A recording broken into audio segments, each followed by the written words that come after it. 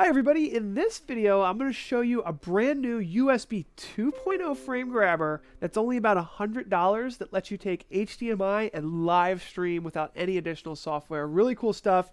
Big Brother here, all this and more coming up next.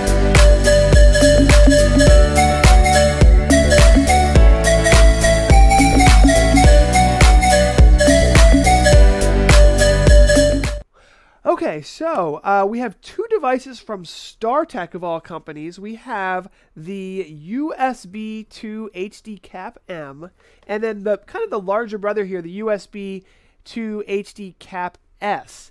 And basically, these are USB 2.0 capture devices that are super affordable and they actually allow you to live stream. Here's the first one here very simple HDMI to USB, and I actually have it plugged in now. There's a software that comes with it called the Stream Catcher, uh, which I am kind of excited about in a weird way. I'm going to show you a little bit about that because it's so easy and so cool. Here's the Big Brother model.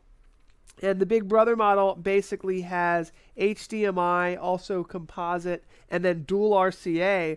Also has an SD card slot, um, the ability to use network, and even an HDMI out. So get this. This product is about $120, uh, which is the, the smaller one. This one's only 150 So why am I so excited about these products? First of all, they're super affordable and they actually work. So we have them actually going right now. This is the, the, the lower end product, the uh, the USB 2 model, HDMI to USB 2, plug right into a USB port, and now we're getting full up to 1080p 60 is what they say. 1080p 30 seems to be the sweet spot, and you know it can do 720, it can do 1080 over USB 2, which I didn't think was even possible.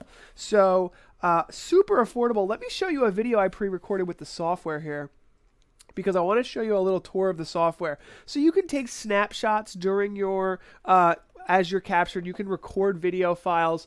Um, I'll show you some of the settings here. Obviously, it's defaulted to. Uh, take a look at this. So you can do RTSP streaming, HLS if your network's set up for that, and RTMP streaming. So you can stream right to YouTube, right to Facebook with this product that's only $100. So it's a great way to capture video and stream, probably the most affordable capture device on the market with built in streaming software. Um, you know, the settings are fairly straightforward.